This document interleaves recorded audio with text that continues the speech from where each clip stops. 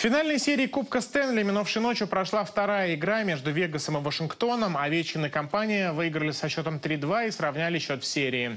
В первом периоде травму руки получил российский нападающий Евгений Кузнецов. Э, Он ушел в раздевалку и до конца матча на лед Кузнецов не возвращался. Насколько тяжелая получилась травма, пока не сообщается. Напомню, что Кузнецов в текущем плей-офф набрал 25 очков по системе гол плюс пас. По этому показателю он лучший в лиге. Александр Овечкин забросил свою первую шайбу в финале Кубка Стэнли в карьере. Овечкин забил при игре в большинстве во втором периоде. Остался один на дальней штанге. В третьем периоде при счете 3-2 в пользу Вашингтона за две минуты до конца выдающееся спасение получилось у вратаря Вашингтона Холдби. Он отбил шайбу клюшкой. Этот сейф уже назвали претендентом на сейф года. Реакция Овечкина на скамейке показательна. Победа столичных и 1-1 в финальной серии. Следующие два матча пройдут в столице США.